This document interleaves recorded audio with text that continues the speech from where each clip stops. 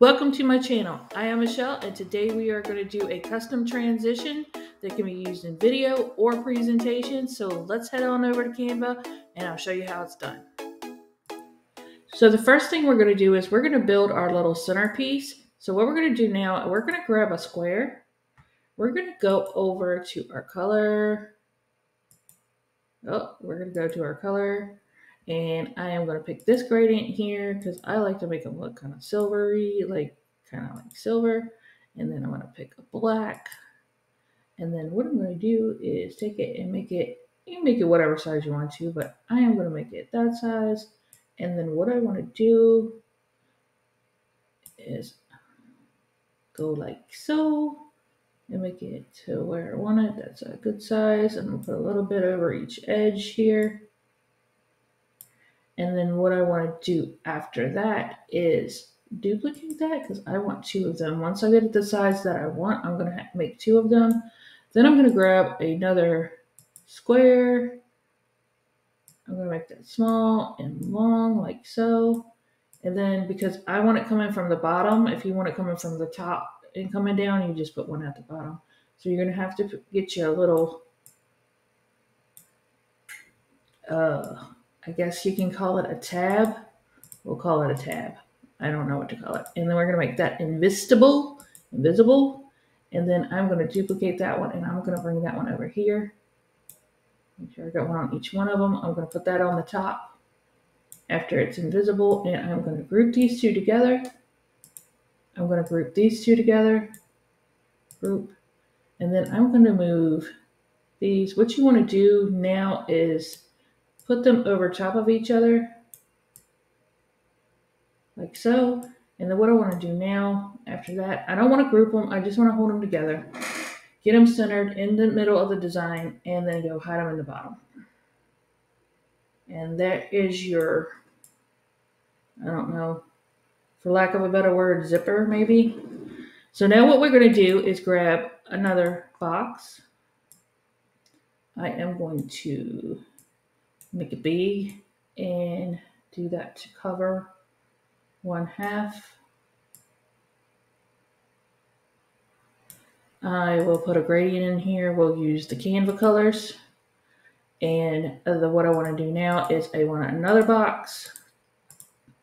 I'm going to duplicate that. I want another box. I'm going to put that on this side. I want to reverse the colors on the other side because I want the colors in the middle to match. So if you're doing gradients, do it that way. Um, I'm going to duplicate the page and I'm going to flip these around. So the colors in the middle are the same. So the next thing I want to do, because I want to pull these off the pages, well, one day Canva will give us the white space to use, hopefully. And I'm going to make a tab on this one and then take this, make it invisible. We're going to make it invisible. And then we're going to group this one like so. Let's make sure that we got enough of it. If not, we'll just go out further. Just go out further and try to make your squares the same so your gradient's kind of the same. And then what we'll do is we'll group these two, group it, and go ahead and move this one off the page, like so. And then we'll do the same thing here. I'm going to go in elements, grab me a little square. It doesn't matter how big your square is. You can make a square, uh, big, long, short. That's all up to you. It doesn't matter as long as you got enough to pull off the page. And we're going to group those together, group, and then we're going to pull those off the page. So now everything is set up. So you want to just go and get your first um, photo, or you can actually do video too, just whatever you want to use. We'll put that, we're going to apply that to the background. We're going to set image to background. And we have our first one. So the first thing we want to do is have our doors closed because we're going to bring in our doors. Grab my other door. Where are you? Come here, baby. Here's my other door. Here's the center line. Here's the center line. We'll bring that down. Bring that to the center line here. And that is our first slide. So if you want to do any kind of text or anything like that, you can do your text where it comes on or come and comes off. At this point, since this Okay, come on, my little bump, bump. Hmm? Okay, so now that just looks like a, oh, over a little bit more. Be me, don't be me. Don't be me. Here we go. Don't be me. So now it just looks like a thing. So if you just wanted to throw some text up there as like a heading or something like that, and you could do that.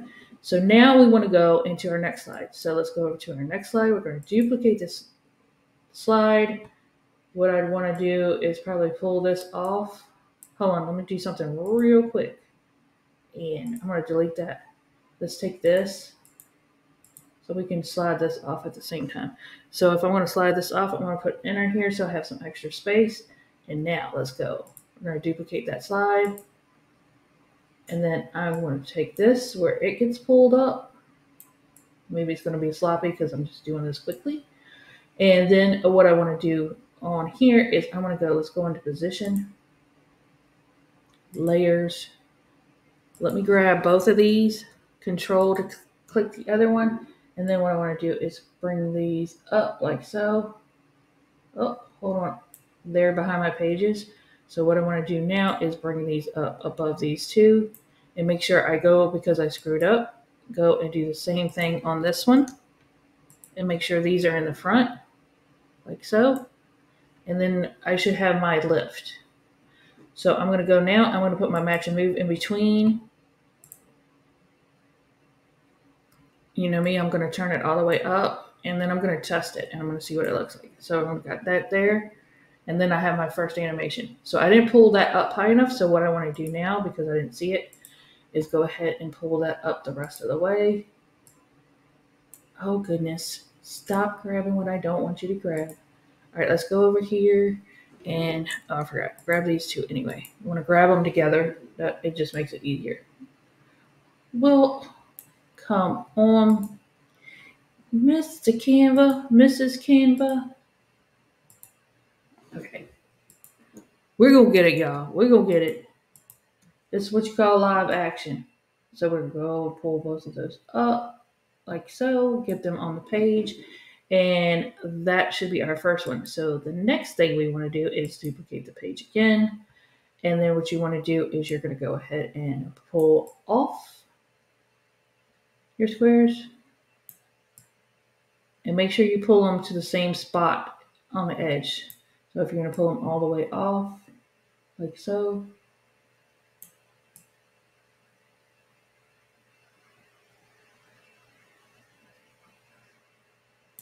and then you're going to take one, each one of these and go to the edge. So if you have a little bit showing, it's not going to because these are going to stay on. I mean, I guess because we, if you want to pull them all the way off too, you can put a tab right here in this section. So now let's do our match move because it didn't travel. We'll do our match move. We're going to turn it all the way up. Oh, I should have applied the uh, photo to the background so it doesn't feel like it wants to move.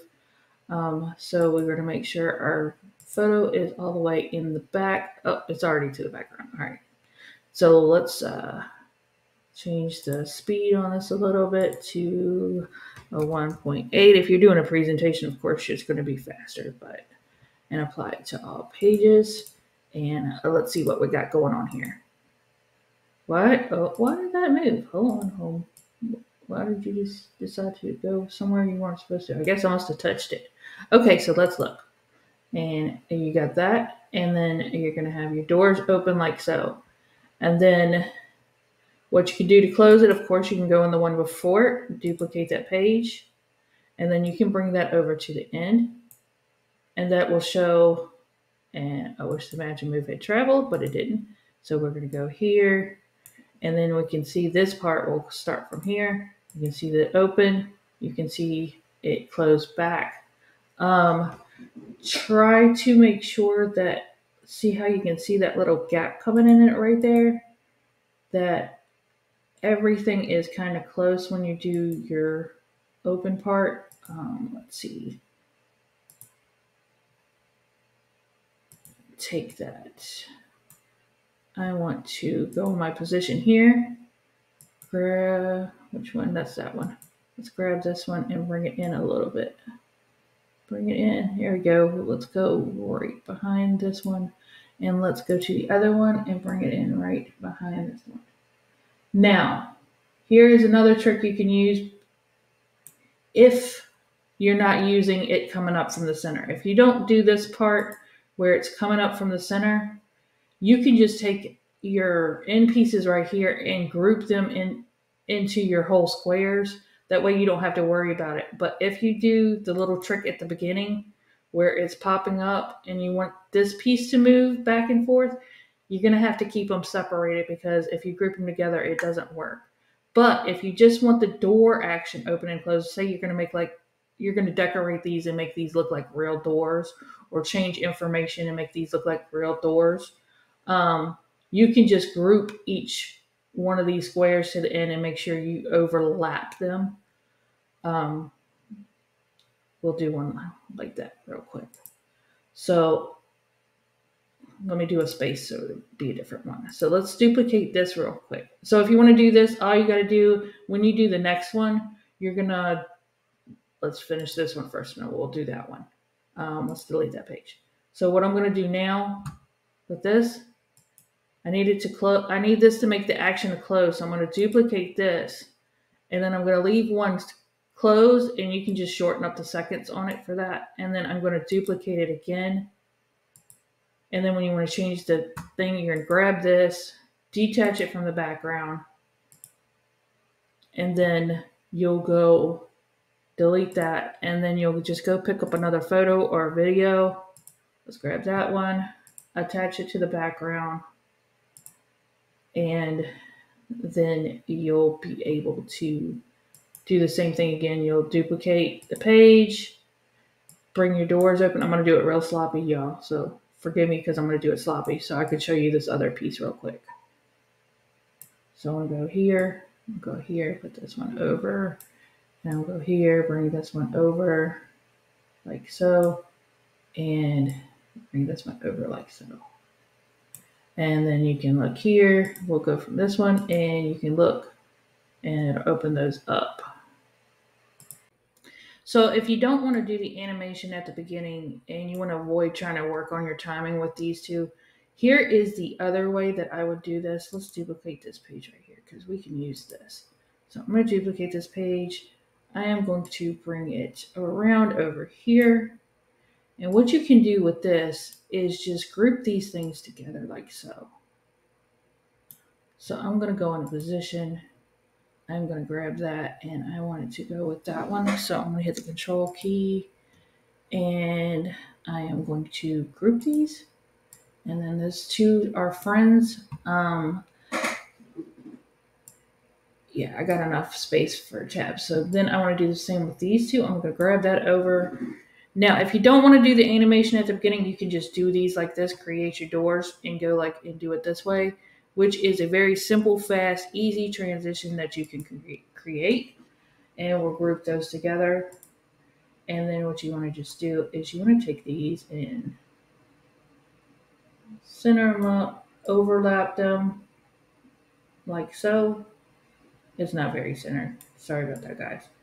But like so. And then you can just go like this. You'll duplicate the page, move each one sideways, not fast and sloppy like I just did, but um, move each one sideways to the center. If you want to take it all the way off, that's your preference. But this will make it like super more simple. This way. You go like this. And then you have it. Then you don't have to worry about working on your timing for like these if they're going and separating up here but you're have to to get your you're to have to get your timing straight on those to make those not do that, which can be a little bit pain in the oh, pain in the butt. So we'll look at this one real quick, and you can see because they're grouped together, they kind of stay together. So that makes a smoother transition. And then you're going to just do the same thing. You're going to duplicate this page here. You're going to bring this over to the back, and that's going to close. So you're going to go open,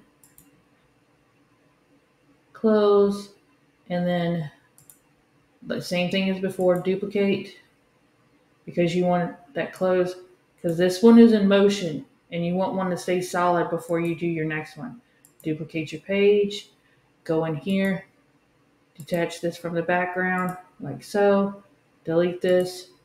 Uh, go and put up your next your next photo, uh, whatever this is. Let's some some jolly merriments here, and set this as the background.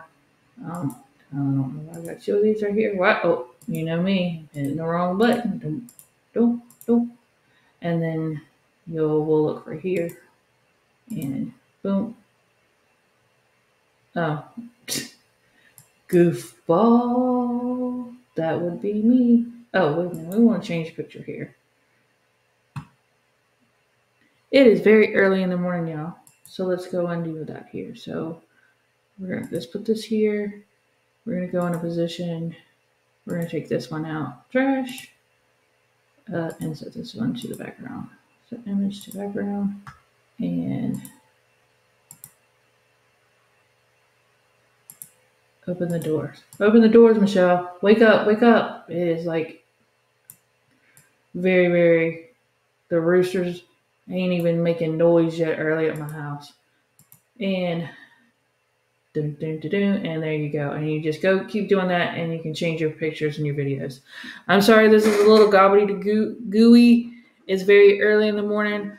I love you guys. Of course, if you have any questions and you're going like, girl, you're crazy, um, just let me know in the comments. I love you guys. I will see you on the next one. Bye. Oh, by the way, you can actually just turn this the other way if you want to use it. If you need to do these for something else, you can also do this and just make your things bigger and do them the other way. I don't know why it's so hard when you do the turnies that way. You can do it that this way and go up and down. Same same principle if you want to do to do top to bottom. You're just going to make bigger squares this way and make sure your little tab thing is this way.